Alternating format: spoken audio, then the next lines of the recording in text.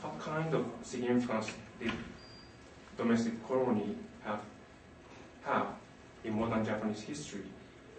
And how did the Japanese imperial university scholars think about the role of frontier? And how did it connect with the frontier and development of individualistic democracy, focusing on independent, independent owners and mid-level farmers.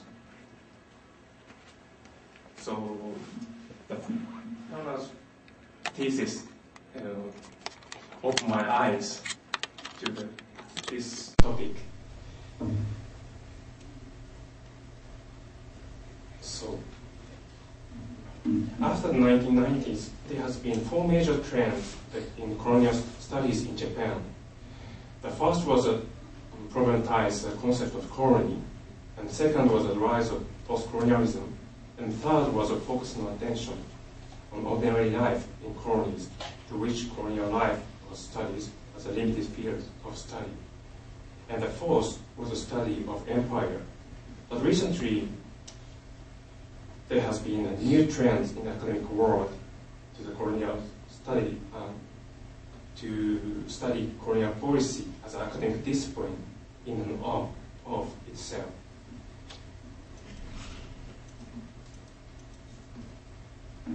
Oh, sorry.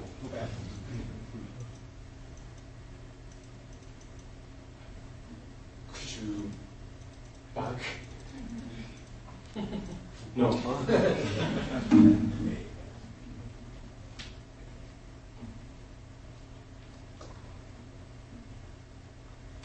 more, more, more. More, more, more. More. Yes, sorry. Uh, before 1945, some Japanese universities offered courses of study such as colonial policy, the history of colonialization, and colonial theory. Uh, to distinguish from the empirical colonial studies and express uh, such courses' core motifs, I'd like to put all of these courses under the operation colonial policy. In fact, such courses clearly implied actual uh, policy suggestions. Currently ongoing academic uh, colonial policy research remains limited individual case studies, but in the near future, we will be able to trace the genealogy of the Japanese colonial policies of academic scholars. In this presentation, I will describe one such genealogy that which began at the Sapporo Agricultural College, SAC.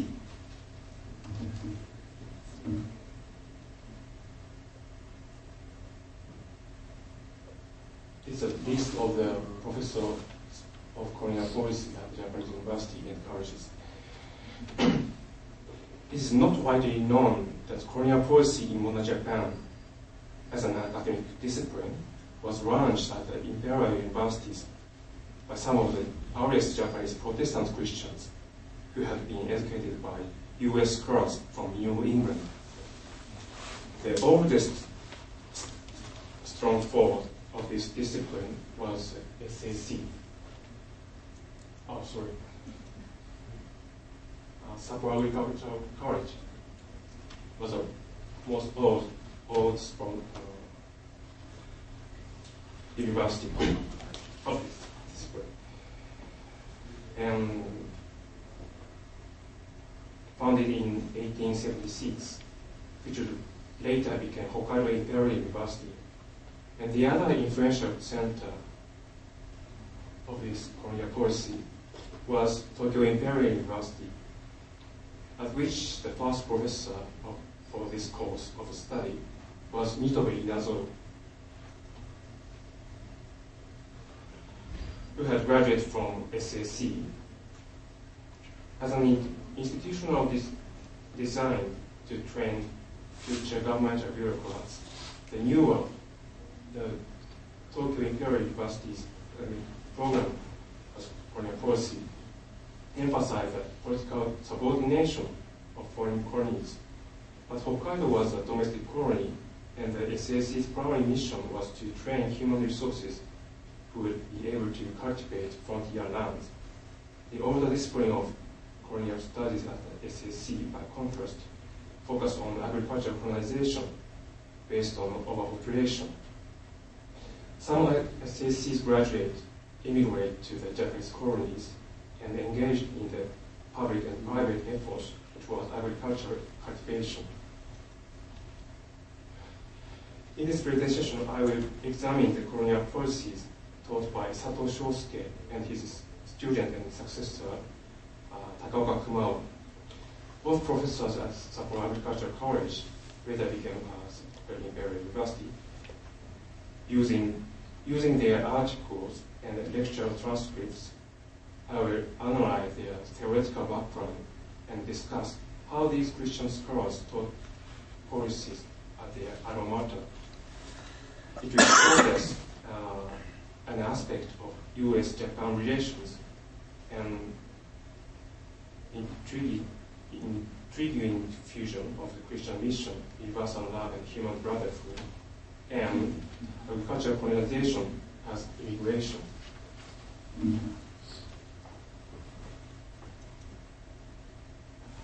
As you know, the U.S. served a model for Hokkaido in terms of how to develop colonial frontier land.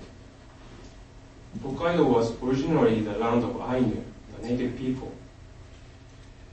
In the Edo period, Tokugawa government explored Hokkaido and contact with the but the full-dressed investigation and cultivation started by Meiji government. The Meiji government will take an assimilation policy for the native people. In 1871, just four years later after the Meiji Restoration, Kuroda Kiyotaka asked Horace from then the U.S. Commissioner on Agriculture, and uh, the um, President Grant, to be an advisor the, to the uh, Japan's Hokkaido Development Commission. Oh, sorry. He's a uh, Capron. They are uh, advisors to the Japanese Hokkaido Development Commission. Uh, during his stay, uh, Capron's stay in Japan, Capron suggested many ways that frontier island could be developed. He introduced large-scale farming with American method, mm-hmm. as well as agricultural machinery and tools. Uh, due to similarities in climate with New England, and to aid the establishment of agricultural college in Sapporo, William S. Clark then the president of Massachusetts Agricultural College in Amherst, was invited to serve the president at the new college. Clark spent just eight months at Sapporo Agricultural College, but thanks to in part of the efforts of the young Amherst scholars, uh, he had uh, unpicked to the company with him and who will play a vital role as a backdrop of college. He was able to accomplish a great deal. Although SAC was a public college, most of the courses were taught in English as a U.S. agricultural college, and Clark introduced Christianity to his students. And one year later, the influence by Clark's Christian zeal all of the first students became Protestant Christians. The early graduates of SAC were greatly affected by the American Christian atmosphere at the college. And in the later years, they were called the Sapporo Band. A group was uh, one of the old strongholds of Japanese Protestantism. Although they belonged to the different Protestant denominations, most graduates maintained a deep faith in Christianity all their lives.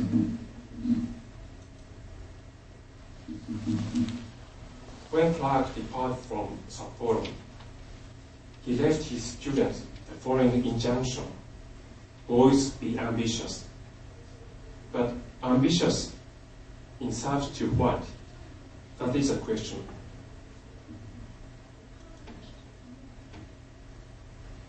After graduating from SAC, Sato Shosuke, who was one of the class Christian students, studied history and politics at First American Graduate School, Johns Hopkins University, where he was a classmate of Woodrow Wilson. Sato finished his dissertation entitled The History of Land Question in United States, and he received his PhD from Johns Hopkins. It seems to me uh, there are two background factors influencing him to choose the history of land problems the topic of his dissertation. First, at that point, there was a massive ongoing debate in Japan over how to distribute the Korean public domain to the people. In fact, sparked by the problem of land patent in Hokkaido, a major political upheaval occurred in Japan in 1881. Secondly, Sato was influenced by the progressive atmosphere in Baltimore. Although Homestead Act has passed U.S.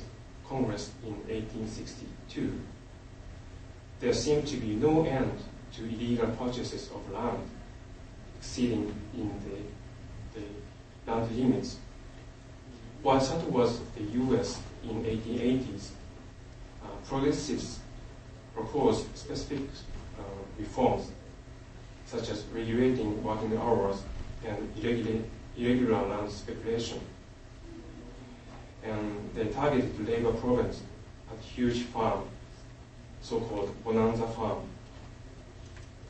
So that you, you, can, you couldn't find anything. The young professor, Richard Ely, at Johns Hopkins was one of the leaders in the, this progressive campaign, the social gospel movement. He organized a Christian association to denounce the social diseases. It is easy to infer that Sato, along with so many others, was strongly influenced by Ely, as evidenced by the fact that he continued to maintain a personal connection with Ely, keeping in touch even after he returned to Sapporo he translated his uh, uh, some work, some books. Sato originally, Sato's original motive was to solve the problem of poverty in Japanese rural villages and to transform Japanese tenant farms into development, uh, independent land owners. Right after he returned from abroad, Sato who had been appointed a professor at SAC, wrote an article on large-scale farming. He wrote that it was impossible to adapt American large-scale farming method to inland Japan, but it will be possible in Hokkaido. Using figure on cultivated areas, uh, he quoted the example of west coast of U.S. and referred to the U.S. Homestead Act based on family farm. Sato insisted that ordinary, ordinary farmers in Hokkaido would be able to consider farms large scale at 40 acres, the minimum size in the Homestead, U.S. Homestead Act. He encouraged immigration into Hokkaido in order to create large scale farm, family farms at minimum size at uh, in reality create mid-sized uh, mid-sized farm and middle, middle class independent owners. But within the few, few years, Sato's colonial policy underwent two drastic changes. His idea began to conform to consensus view and start marching into the, in the step Japanese national interests the first change started around the 1890s, 90. In spite of his heretofore, heretofore moderate ideas, he acquired 494 acres from the public domain and began to run the Sato farm, thereby reflecting changes in uh, governmental policy toward Hokkaido. it was a, a bonanza farm in literal sense, whose size was more than three times the maximum stipulated in the U.S. Homestead Act. Before he possessed of the land, the maximum limit on the ownership according to the Homestead Act law in Hokkaido was deregulated, thereby allowing the large-scale cultivation by only handful of wealthy individuals.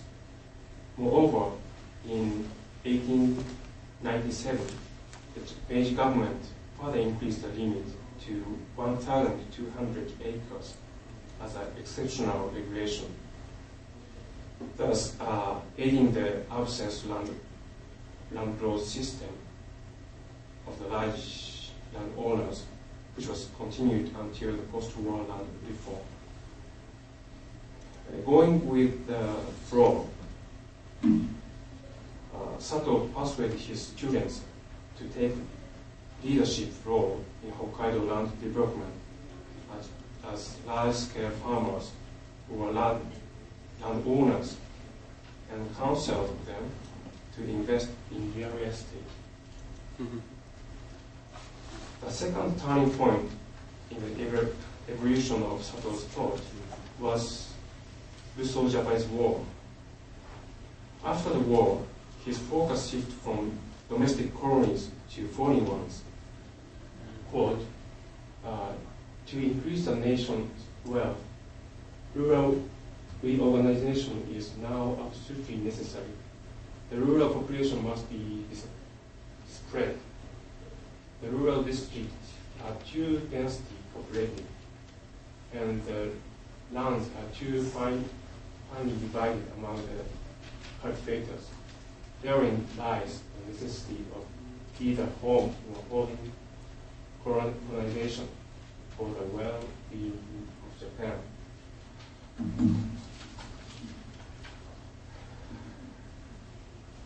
The ideas of immigration abroad were supported by his Christian confidence in the belief that tendency toward the universal brotherhood of mankind will gradually overcome all national borders. Sato's students and ideological successor who integrate agriculture colonial policy research at SAC was Takaoka Kumao. When it became obvious that the American large-scale agricultural system could not, in general, be applied to agriculture in Hokkaido, the Denmark model that was that of uh, small agricultural holdings attracted widespread attention. Similarly, uh, the Japanese government policy toward Hokkaido agriculture also gradually transformed into a policy based on the, the theories of the German historical school. Such a policy was seen more realistic because German model was based on national communalism and dealt with domestic social conflicts that accompanied, accompanied by the uh, development and progress of capitalism. After graduate from SAC, Takaoka studied the problem Hokkaido development with German colonial policy at University of Bonn and Berlin University. Takaoka's uh, colonial policy has two key premises. The first notion we can see in the 1910s. From 1907 to 1916, a chronic depression gripped Japanese society Mhm. so-called uh, social problem emerged. And agrarian depression brought tremendous poverty and ruin to many farmers. The protection of Japanese small farmers was one of the main issues for Takaoka and other scholars who returned from Germany. Unlike Sato's classification, Takaoka classified farm size not by figure of the cultivated, uh, cultivated land area, but by types of farm. Using the interpretation of German scholars, uh, Takaoka grasped the small size farmer, was one who practiced agriculture merely as a means of subsistence. The large farmer who could employ many workers and approaches agriculture as a business did not fit the current Japanese situation. But Takaoka stressed encouraged mid-level farmers who would be able to get some additional income from sales their products and their aid their family members. According to Takaoka, there were two possible solutions to economically improvement, improve a lot of subsistence farmers. The first was to increase uh, farmers' income by expanding the size of their field. And the second, to send the farmers into a thinly populated area. These areas he shared with Sato. This notion, these ideas shared with Sato. Takaoka proposed his second premises, especially after the Manchuria incident. Manchuria was a special colony to Hokkaido Imperial University. The Faculty of Agriculture went all out Mhm. in studying uh, immigration when Japan set up Manchukuo. Takaoka advocated a colonial policy of coexistence, co-prosperity for both new settlers and the native inhabitants. He encouraged uh, technical education for natives so that they would expand their economical power. The Japanese settlers, on the other hand, should put down roots in colony as a permanent immigrants, love the colony, and communicate with the native inhabitants, pursued not insecure self-interest, but permanent mutual benefits. Thus, the name of co-prosperity, Takaoka legitimized the massive agrarian immigration to Manchukuo.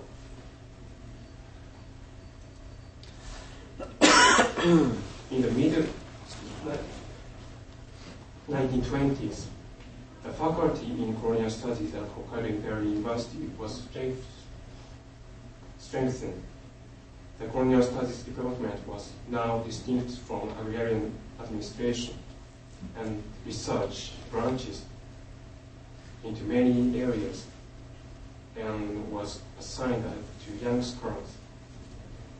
Nakajima Shin, uh, Nakashima Kuro, who studied under Ely at the University of Wisconsin in Madison, and Takaoka Shinichiro, Takakura Shinichiro worked on Sakhalin, and Ito Toshio and Uehara Saburo focused on the South Sea Islands. Uehara Takakura and Yajima Takeshi studied Manchuria, and Takaoka Kumao oversaw all these projects and acted their leaders uh, in organizing them. The main task of each project will make suggestions for colonial policy based on their field investigations. Uh, because Taiwan and Korea was not agri- agrarian immigration, immigration colonies, but investi- investment colonies, these professors did not cover either of them in their research. But later, the graduate Negishi Benji and Ito Toshio would accept the post at Taipei Imperial and Seoul Imperial Universities, respectively. Examining the history of academic tradition of colonial policy in Sapporo, we can point out some shared ideas and characteristics. First, the original motives of colonial policy was to reduce poverty in rural Japan. So policies were developed that encouraged poor and mid-level farmers to immigrate to frontier, frontier of Japanese colonies. In the colonies, small-scale tenant farmers will be able to become a mid-level independent landowners. Second, except in few aspects, initial American large-scale farming method was not sufficient to reform Japanese agriculture. Instead, immediate necessity became to standardize the mid-level farmers, family farms, even in Hokkaido and in the other colonies. The third, due to Japanese Japan-centric or imperial-centric viewpoints in these policies, the other native or peripheral, peripheral, peripheral groups were neglected. Uh, in spite of their concentration on agriculture motivated, motivated immigration, the cost of their focus was enormous. Compared with the colonial policy of Yanaihara Tadao, the successor of Nitobe, who later taught at Tokyo Imperial University, Sato and Takaoka's statement seems rather naive. Yanaihara concentrated his research on the social conflicts between new settlers and native people, and he admitted that hand in hand with economic development in colonies, uh, movement among native population demanding the right of the political self-determination was inevitable. Moreover, Yanaihara denounced the process of Japanese militarism in Manchuria. Most professors at Hokkaido, by contrast, did not discuss the native people, even the Ainu of Hokkaido, in their research. The one exception was Takakura Shinichiro, who was influenced by Yanaihara. But his book, The History of Policy for the Ainu, he supported the Meiji governmental uh, assimilation policy. And fourthly, underlying their phrases of co-prosperity and universal brotherhood, we can see evidence of their simple but very naive Christian faith. After 1945, colonial policy courses of study disappeared from Japanese universities. Yet, even though such courses were reorganized into, international economics, international politics, and international relations, the academic legacy of Korean political uh, studies was inherited by later scholars. After the war, a population surge was predicted due to all the returning Japanese refugees from all overseas colonies. Hokkaido was again hailed as a place to accept this flood of war refugees. And Hokkaido University professor who engaged in the colonial policies advocated not only the immediate development of Hokkaido through their personal connection, but also post-war agrarian immigration to South America, such as Brazil and Peru, mm-hmm. uh, citing their experience of Hokkaido. Thus, it is clear that the history of colonial policy at Hokkaido Imperial University, which had its roots in Korean thought, originating among Protestant scholars of New England, had far-reaching and unexpected consequences for modern Japan. Thanks very much.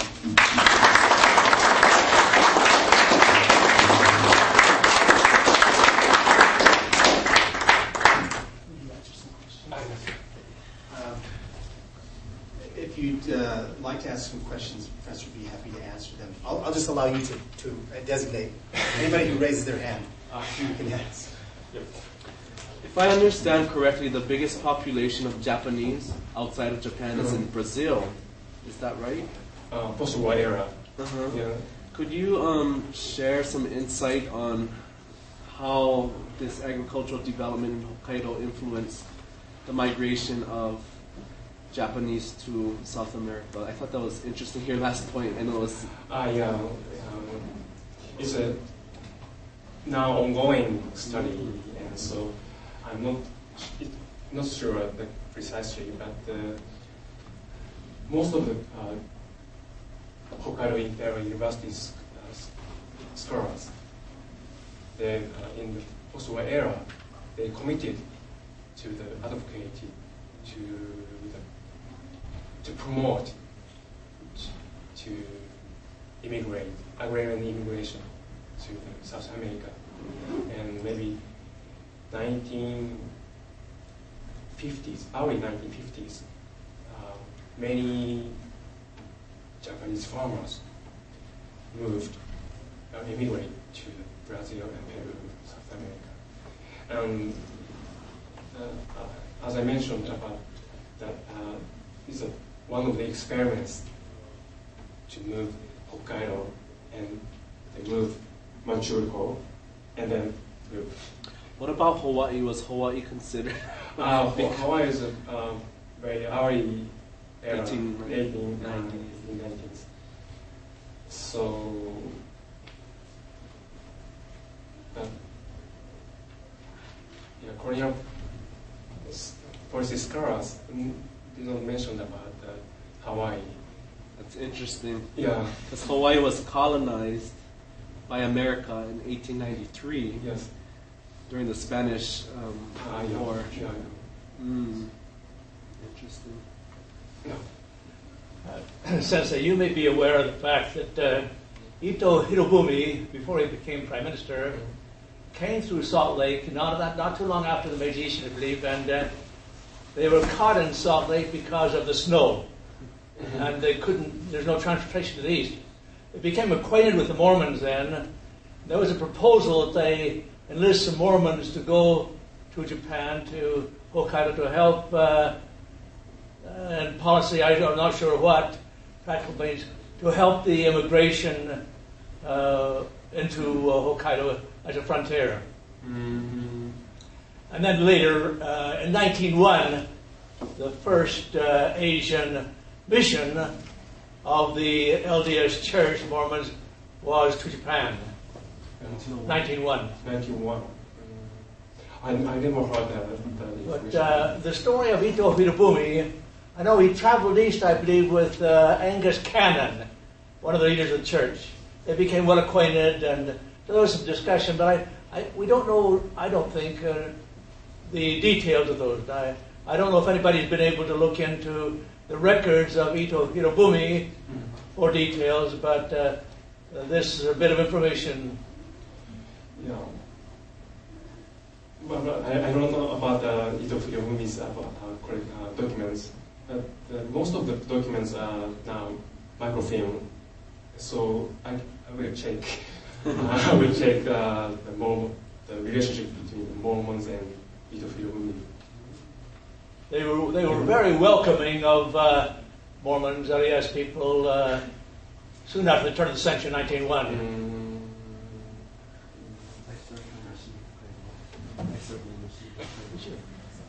One, one follow-up on, on, on this very issue and then another question. Um, My understanding is that one of the early Meiji era foreign advisors, a a gentleman by the name of Charles Legendre, actually proposed inviting Mormons to be agricultural colonists in Hokkaido.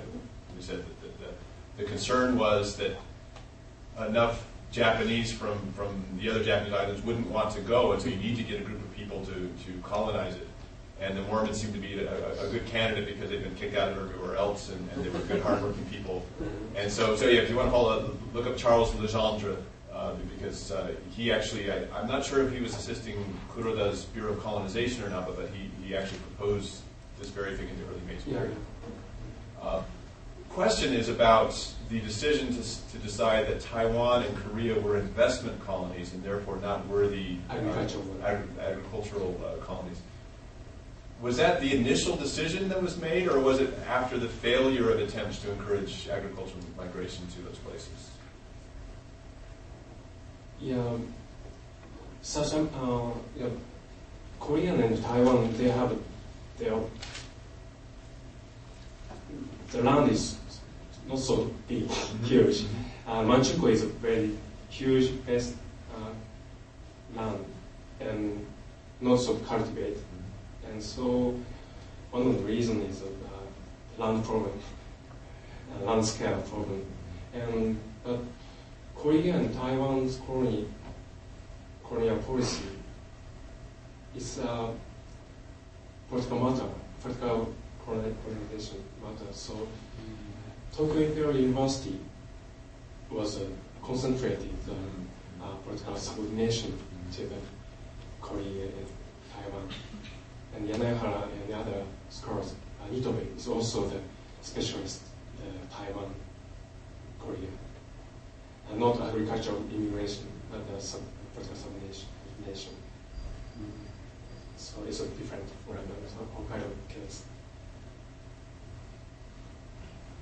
In that, The, the, uh, somebody else, uh, go ahead. yeah, in that time period, besides Hokkaido, what was the most uh, beneficial and successful colonization in that time period for for Japan? the most uh, profitable, or, or, or most helpful, or most beneficial for Japan? What, which time period? Oh, this this time period, the the at the this whole time period that he's talking about. The, Uh? Late nineteenth century or the, yeah, late 19th century, very early 1900s. In, in Hokkaido or the other, other area. Yeah, or in other areas. What other areas were very beneficial or successful for Japan in colonization?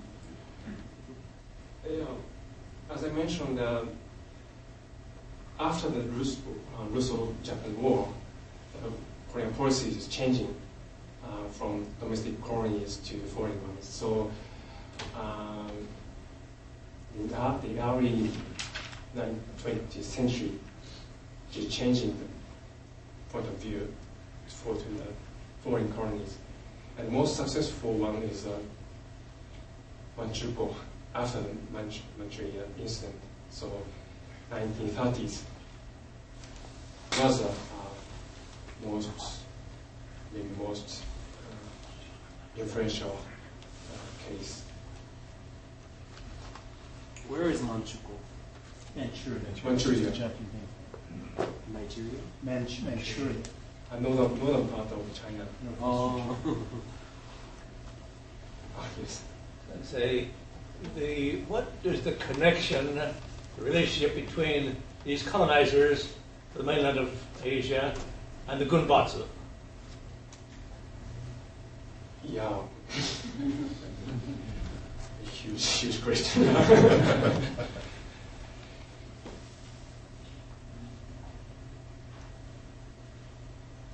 Colonizers. Today's my talk is on the academic scholars and agricultural colonizers. But uh, Gunbatsu is a military is different from the agri- agricultural immigration, immigration im- immigrants. But uh, they have some relationship, but I don't have a prepare for that since the experience explanation. So. If you had a chance to look at Uchimura Kanzo, does he have an opinion about the colonization in his writings? Yes, um, I'm very interested about Uchimura Kanzo. Uh, he is a, a non-church Christian, and he has uh, some writings about col- col- and colonization. And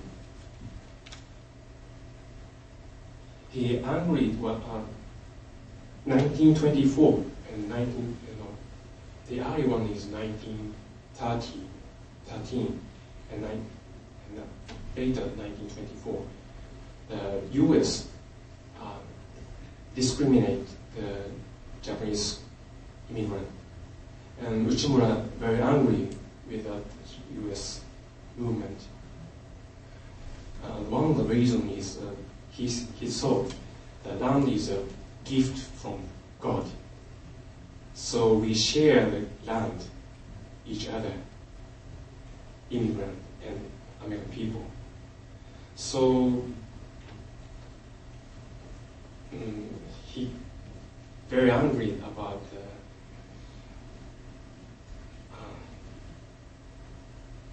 how to say, uh,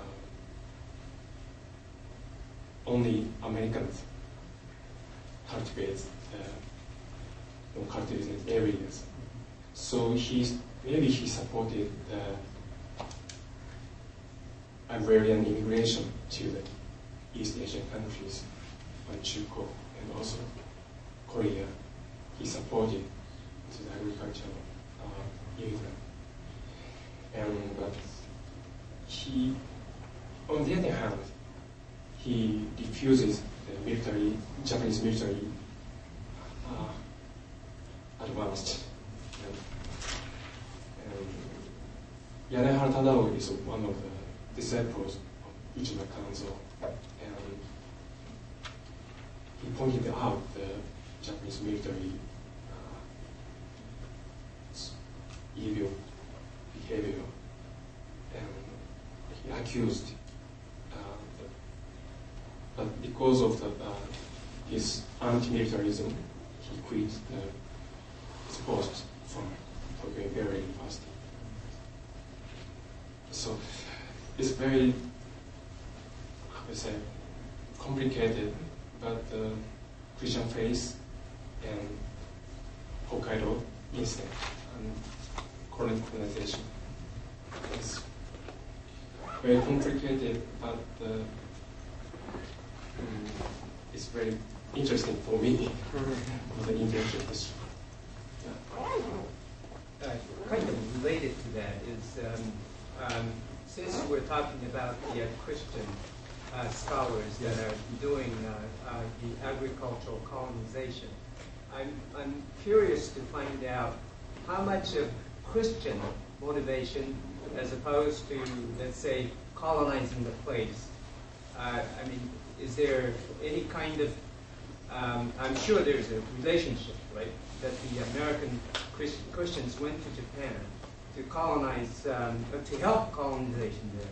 But the, um, uh, especially when Japan started to uh, go out to the uh, different parts, uh, such as Brazil or Hawaii, or uh, in, in terms of colonization, they're more politically motivated. And but the, uh, as according to your uh, uh, you know uh, um, uh, wonderful presentation here, uh, all these people are uh, Japanese Christians. Are they were they more mo- motivated by Christianity, or were they more motivated by the uh, political necessity of going to these uh, places to colonize? Mm. Maybe they were very enthusiastic uh, Christian, or deeply faith. They have deeply deep faith. Uh, the end of their life, uh, Sato and Takaoka Kumao and Yanaihara and the other Ito base also, but they had different denominations, and so in the personal com- confidence, their Christian faith, uh, universal love, and universal brotherhood, and love each other is uh, one of the motivation, one of the main motivation to the to expand uh, agriculture. But uh, yes, also uh, they have many political and social reason they have.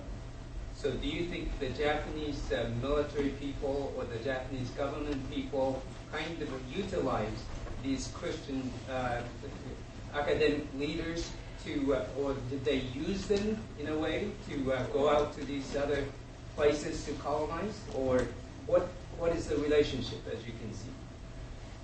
Yes, the, one of the example is uh, Nitobe and Goto Shinpei.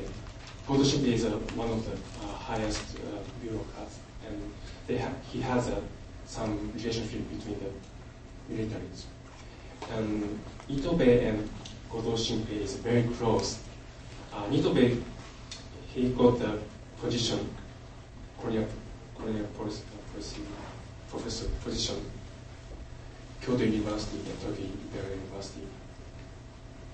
It's one of the main factor is reason is uh, Goto Shinpei's recommendation. And so, in that sense, Goto Shinpei uses the Christian Nitobe to encourage the Japanese colonial policy in the academic discipline. But uh, Nitobe and the other Christian professors, they maybe they didn't think they were, they were the, how to say, the puppet. Mm-hmm. they, they are not puppet. Uh, the politician and military, military armies. Uh, so it's very complicated, but very interesting to me. Thank you very much.